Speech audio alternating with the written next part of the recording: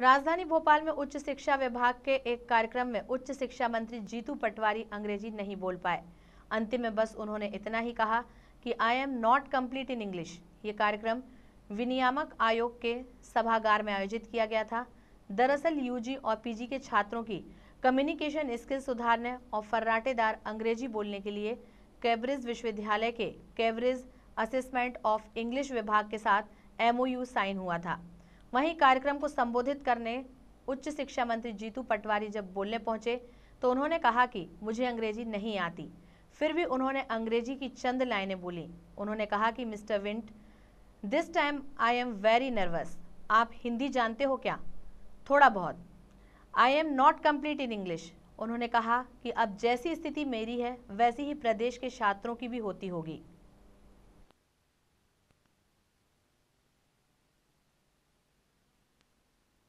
एक सपना होता है मध्य प्रदेश के विद्यार्थी के लिए उनमें पढ़ना है उनसे कुछ न कुछ पाना।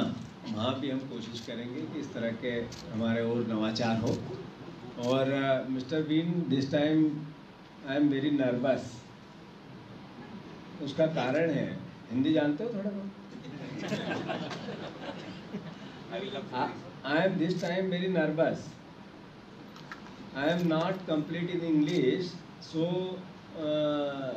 बैठे बैठे विचार भी कर रहा था कोई कम्युनिकेट करो भाई बैठे बैठे विचार भी कर रहा था कि जैसे मेरी स्थिति ऐसी हमारे बच्चों